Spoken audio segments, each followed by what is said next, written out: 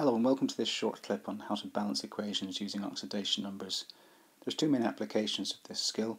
The first one is writing a half equation from oxidation numbers and the second one is writing a full balanced redox equation from oxidation numbers. So I'll take them one at a time. So the first example would be something like construct a half equation for the conversion of um, MnO2 in acidic conditions to Mn2+. So the first step is to write out what you know, assigning oxidation numbers as you go. So we know that we've got acidic conditions, so we know there's going to be H+. Plus. We know that oxygen has a oxidation number of minus 2. So 2 of them is going to be minus 4. So that, that's why the manganese in MnO2 is plus 4. We also know that there are two oxygens that have to be used up somehow. We can assume that they're turned into water so we put 2H2O on the right hand side. So the next thing to do is to work out the oxidation number changes and assign electrons accordingly. If it's a reduction, the electrons will be gained. If it's an oxidation, the electrons will be lost and be on the right hand side. So the oxidation number has decreased by 2, so it's a reduction. Therefore you need to gain 2 electrons. And finally what you do is you balance the species and the charges both sides. Now going back a minute or so, you'll remember that we actually put two waters on the right hand side. That requires four hydrogens. So we have to put a 4 in front of the H plus to balance it.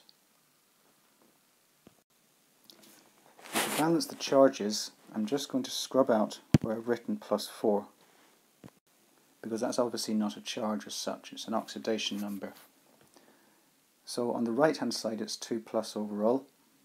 On the left hand side you've got 4 pluses and 2 minuses which is also 2 plus overall. So this is now balanced. So writing a redox equation from oxidation numbers is often worded in this manner. This would be worth about 3 marks or so in an exam. So what we do is exactly the same as what we did at the top.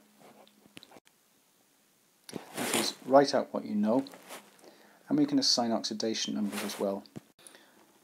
And I've written the oxidation numbers for everything, but I've only written the things that change oxidation number in black, so we can follow them as we go. So we can see that lead is reduced and chlorine is oxidized. So lead is reduced by two oxidation numbers, going from plus 4 to plus 2 and chlorine is oxidized by one oxidation number. It's gone up from minus 1 to 0. But for lead to be reduced by two oxidation numbers, chlorine would have to be oxidized by one oxidation number twice. So the process where that happens is with the HCl. So that process needs to happen twice. But you've also got to bear in mind that you've got two oxygens on the left hand side on the lead oxide that have to be used up somehow. And just like we did in the first technique at the top of the page, we use those up using water. So to balance it, what we have to do is actually multiply the HCl by 4. So you might be thinking, how come he's just said that it has to happen twice, and now he's multiplied it by 4? If you look closely, within those four chlorines that are in the four HCl's, only two of them actually get oxidized.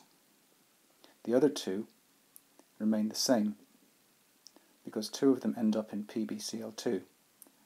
And if you look at the oxidation numbers, they don't change there, do they? So you need to make sure that you're bearing that in mind as well. So because this second technique is slightly trickier, we'll do another one. So this one says hydrogen bromide HBr reacts with concentrated sulfuric acid to produce bromine Br2, sulfur dioxide SO2 and one other product. And I've just realised I forgot to put H2SO4 in, sorry about that, they probably would give you H2SO4 in the question. So let's write up what we know first of all. Okay, let's assign oxidation numbers. I'm going to write the ones out for things that don't change first of all. So hydrogen doesn't seem to change at this point. We don't know what the other product is on the right hand side first of all, so we can just put plus 1 for the hydrogens to start with. And we can put in minus 2s for the oxygen. And we can put in the oxidation states for bromine and for sulfur. That's where the change is happening, obviously.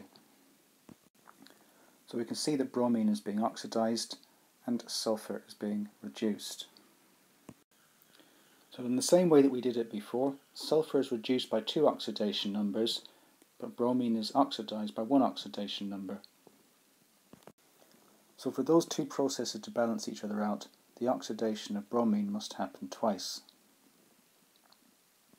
So we can put a 2 in front of the HBr. Now instantly this balances the bromines, so that does that job for us. To check how many, uh, what we might have to do with the oxygens in H2SO4. We have four oxygens in H2SO4. We also haven't got rid of any hydrogens on the right hand side. So it should come as no surprise that water comes to the rescue here. So that gives us two lots of water on the right hand side. And the final thing to do is to check any species and charges. Now don't forget the pluses and minuses are written above each of the species are just oxidation numbers. They're not charges. So that must mean the charges are balanced already because all of the species you've got are neutral. However, what we've got to do is do the species balance. So doing the hydrogens first of all, you have four on the left and four on the right. So hydrogen is balanced. Let's do bromine now. You can obviously see that that's balanced as well. Let's do sulfur. That too is balanced. Finally, let's do oxygen. And that too is balanced. So, job done. Now it might be a good idea to go and practice some examples from your textbook uh, because, like I said earlier, this can be slightly tricky because it's a slightly different way of balancing equations than you're used to from GCSE or perhaps even your first year of A-level chemistry. This is very much an A2 skill, but it works beautifully every single time. So once you've done it a few times, you'll find it a very useful tool for balancing oxidation and reduction equations in exam questions. So thanks for listening, thanks for your time, and see you soon.